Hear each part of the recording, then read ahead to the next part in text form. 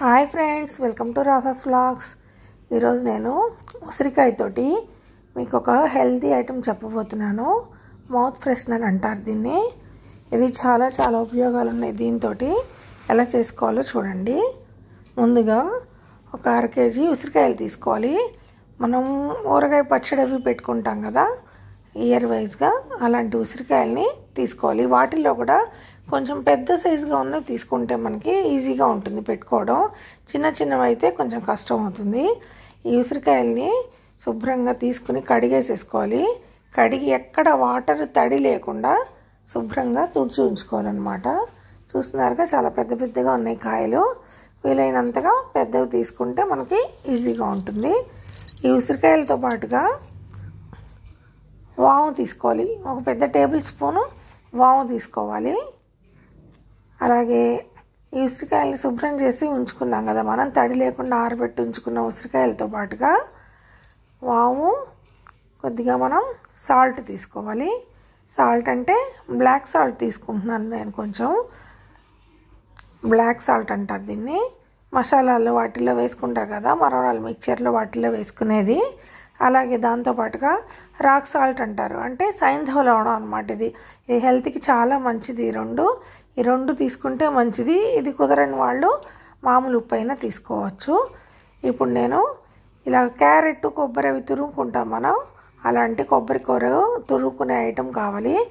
దాని మీద ఈ తడి లేకుండా ఆరిపోయిన ఉసిరికాయల్ని మొత్తం ఇలా కోరి ఉంచుకోవాలన్నమాట. అందుకనే పెద్దవి తీసుకోవాలి అని చెప్పాను. పెద్దవి అయితే ఈజీగా కోరడానికి వస్తాయి కదా. చిన్న చిన్నవి అయితే చేయి గీసుకుని సరిగ్గా కోరుకోలేము మనం. అందుకని ఇలా పెద్ద కాయలు తీసుకుంటే ఈజీగా కోరేసుకోవచ్చు. అదే మిక్సీలో వేసారనుకోండి మీకు బాగా వాటరీగా వచ్చేసేసి అది ఆరడం మీకు కొంచెం కష్టం అవుతుంది అందుకని నేను తురుగుకుంటామని చూపిస్తున్నాను. తురిమితేనే ఇది బాగా వస్తుందన్నమాట. ఇలాగా చేయి కోసుకోకుండా జాగ్రత్తగా నిదానంగా అన్ని కాయల్ని మనం ఇలా కోరేసుకుంటే కొంచెం పొడుగు పొడుగ్గా వచ్చినా కూడా చాలా బాగుంటుంది. తినడానికి టేస్టీగా ఉంటుంది మనకి. చూడండి ఇట్లాగా పొడుగ్గా అలా కోరుకోవాలన్నమాట. మనకి నీరు కారుతున్నట్టు రావట్లేదు చూసారా? ఇట్లా కోరుకుంటే దీంతో అందుకని చెప్పి అలాగా కాయలన్నీ కోరేసుకోవాలి. తురుముకోవాలన్నమాట అన్నీ ఇలాగా చూసారా? అన్ని కాయలు తురివేసుకున్నాను. ఇలాగా ఒకసారి మొత్తాన్ని ఇలా తడి లేకుండా ఒకసారి ఇట్లా వెడల్పుగా చేపరుచుకుని దీంట్లో ఇప్పుడు మనం ఇందాక వాము చూపించాను కదా మీకు ఒక టేబుల్ స్పూన్ కావాలని. దాన్ని మనం చిన్న రోట్లో వేసుకొని మెత్తగా దంచేసుకోవాలి. అది మెత్తగా దంచుకుంటేనే బాగు బాగుంటుంది. మధ్యలో మనకి నోటికి వస్తూ ఉన్నా లేదంటే దాని నుండి రాలి పడిపోతుంది కాబట్టి కలిసిపోవడం కోసం కొంచెం మనం మెత్తగా దంచుకోవాలి. దంచుకున్నది ఒక టేబుల్ స్పూన్ వాము తీసుకోవాలి. అలాగే సాల్ట్ బ్లాక్ సాల్ట్ అని చెప్పాను కదా అది కూడా ఒక టేబుల్ స్పూన్ తీసుకోవాలి. దీన్ని కూడా వేసేసి మొత్తం అంతా కలిసిపోయేలాగా బాగా కలిపేసేసుకోవాలి. అలాగే ఇది మొత్తం ఉసిరికాయ కూర మొత్తం పట్టేటట్టుగా మొత్తానికి బాగా అంటేలాగా కలిపేసేసుకోవాలి మనం. దీంతో పాటుగా కొద్దిగా ఒక అర స్పూను టేబుల్ సాల్ట్ కూడా తీ సైంధవ లవణం కూడా తీసుకోవాలి. రాక్ సాల్ట్ అంటాం కదా అది కూడా తీసుకోవాలి. అప్పుడు మనకి ఉప్పు టేస్ట్ కూడా తెలుస్తుంది అనమాట సరిపడా? ఒక అర స్పూన్ వరకు తీసుకున్నాను దీనికి. తీసుకుని మొత్తం బాగా కలిసేలాగా మొత్తం కూర అంతటికి మూడు సైంధవ అలాగే బ్లాక్ సాల్ట్ వావు ఒక దంచిన వావు మూడు కలిసిపోయేలా కలిపేసుకోవాలి. ఇష్టం ఉన్న వాళ్ళు మిరియాల పొడి కూడా ఒక స్పూన్ అర స్పూన్ వేసుకోవచ్చు. నేను ఘాటుగా ఉంటుంది పిల్లలు తింటే తర్వాత ఎండిపోయిన తర్వాత బాగా కారంగా అనిపిస్తుందని చెప్పి నేను వేయలేదు. స్పైసీగా కూడా ఇష్టం ఉన్న వాళ్ళైతే మిరియాల పొడి కూడా వేసుకోవచ్చు. ఒక అర స్పూన్ పడుతుంది అర కేజీ కాయలకి పౌడరు.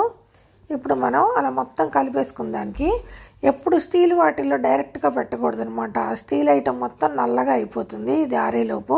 అందుకని దాని మీద ఒక కవర్ వేసుకొని పాలిథిన్ కవరు మళ్ళీ పేపర్ మీద వేసినా మొత్తం పులుపంతా లాగేసుకుని తడిసిపోతుంది కాగితం. అందుకని కవర్ మీదే వేసుకోవాలి. వేసుకొని పలచగా ఇట్లా ఆరబెట్టుకుని ఆరే ఆరబెట్టుకోవాలన్నమాట ఇలా పలచగా చేసుకొని. చూస్తున్నారా? కొంచెం దూరంగా మొత్తం పరిచేసేసుకొని ఇలా ఆరబెట్టుకోవాలి. నాకు రెండు ట్రేలకు వచ్చింది. రెండు ట్రేల్లో కూడా మొత్తం వేసేసుకొని పలచగా ఆరబెట్టుకోవాలని రెండిట్లో వేసుకున్నాను నేను. మీరు చూసుకొని ట్రే కాకపోతే పళ్ళెల్లో అయినా చాట్లో అయినా దేంట్లో అయినా సరే ఇలాగా కవర్ వేసుకుని కవర్ మీద మొత్తం పరిచి ఉంచుకోవాలి. ఉసిరికాయ గురించిన హెల్తీ విషయాలు చెప్పక్కర్లు అందరికీ తెలిసినవే కదా. చాలా మంచిది హెల్త్కి సి విటమిన్ ఉంటుంది అందులో. జుట్టుకి కళ్ళకి మన చర్మానికి అన్నిటికీ కూడా చాలా మంచిది. ముందుగా ఇది షుగర్ వాళ్ళకు కూడా చాలా హెల్తీగా ఉంటుంది. ఎలాగోలాగా సి విటమిన్ బాగా ఉంటుంది మనకి డైజెషన్ ప్రాబ్లం ఉండదు అన్ని రకాలుగా బాగా ఉపయోగపడుతుంది కాబట్టి మనం ఊరగాయగానే కాకుండా ఇలా కూడా చేసుకుని ఉంచుకుని మనం ఎలా తీసుకోవాలో చూపిస్తాను. మొత్తాన్ని ముందుగా బాగా పరిచేసేసుకొని పలచగా పరుచుకుంటే తొందరగా ఆరిపోతుంది అనమాట ఈ సీజన్లో దొరికినప్పుడే మనం ఇలా చేసుకోవాలన్నమాట ఇవి. చూస్తున్నారుగా బాగా పలచగా ఆరబెట్టేసేసుకోవాలి. ఇది ఎండలో పెట్టుకోవాలన్నమాట. లేదంటే కనీసం ఫ్యాన్ కింద అయినా సరే ఆరేలాగా బాగా ఆరబెట్టుకోవాలి. మనకి మొత్తం తడి లేకుండా పొడి పొడిగా ఆరిపోయేదాకా ఆరబెట్టుకోవాలి దీన్ని మనం. ఇది తింటే కనుక మనకి ఆల్రెడీ వామ్ వేసాం కదా అందుకని డైజెషన్ ప్రాబ్లం కూడా ఉండదు. దీన్ని బాగా ఇలా ఆరబెట్టేసేసుకోవాలి ఫ్యాన్ కింద కూడా. మధ్య మధ్యలో మనం ఒకసారి ఏదైనా ఫోర్క్ కానీ స్పూన్ కానీ తీసుకొని కలుపుతూ ఉంటే కనుక అతుక్కుపోకుండా మొత్తం తొందరగా అడుగుది కూడా పైకి ఆరిపోతూ ఉంటుందన్నమాట. చూస్తున్నారుగా ఇలా ట్రేలో బాగా పలచగా చేసి పెట్టుకొని మధ్య మధ్యలో ఫోర్క్తో కానీ స్పూన్తో కానీ బాగా కదిలిచ్చి కదిలిస్తూ ఉంటే కనుక రోజుకి ఒకసారి రెండు సార్లు మంచి కొంచెం అడుగుది కూడా బాగా మనకి ఆరుతుందన్నమాట. లేదంటే పైన కొంచెం అడుగున తడి ఉండటం వల్ల గట్టిగా అతుక్కుపోయినట్టుండి పైది మాత్రం పొడి పొడిగా ఉంటుంది. అందుకని కొద్దిగా పైకి కిందకి అట్లాగా మొత్తం రోజుకి ఒకటి రెండు సార్లు మనం అట్లా కదిలిచ్చేసుకుంటే మొత్తంగా ఒకేలాగా ఆరుతుందన్నమాట మొత్తం.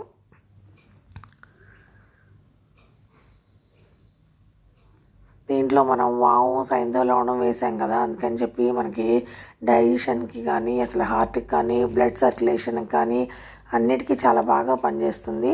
మనం మామూలు సాల్ట్ వేయలేదు కాబట్టి ఈ బీపీ వాళ్ళు కూడా తినచ్చు. ఇలా షుగర్ ఉన్న వాళ్ళు కనుక కొద్దిగా పొద్దున్నే ఎర్లీ మార్నింగ్ ఇంత తీసుకొని చప్పరిచ్చేసి గోరువెచ్చని నీళ్ళు తాగితే షుగర్ కూడా మనకి తొందరగా కంట్రోల్ అవుతుంది.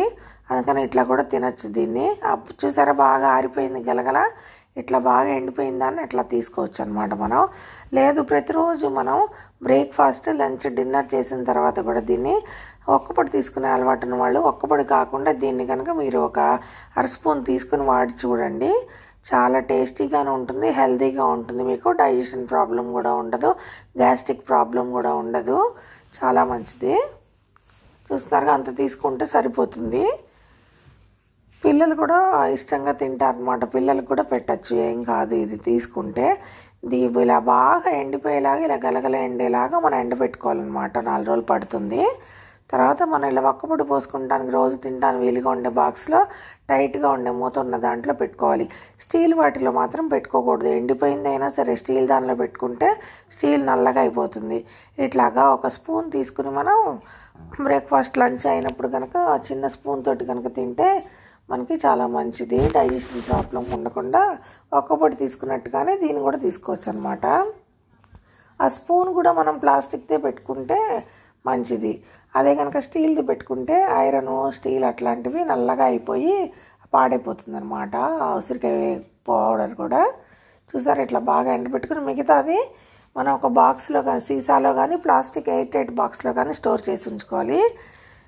చూస్తున్నారుగా నా ఉసిరికాయ కూరు మౌత్ ఫ్రెషనర్ నచ్చినట్టయితే అందరూ లైక్ చేయండి షేర్ చేయండి. నా ఛానల్ని సబ్స్క్రైబ్ కూడా చేయండి. అందరూ చేసుకుని ఎలా ఉందో నా కామెంట్ సెక్షన్లో చెప్పండి. ఇది మాత్రం హెల్త్కి చాలా చాలా మంచిది. అందరూ చేసుకొని ట్రై చేసి చూడండి. మీకే తెలుస్తుంది. Thank you for watching.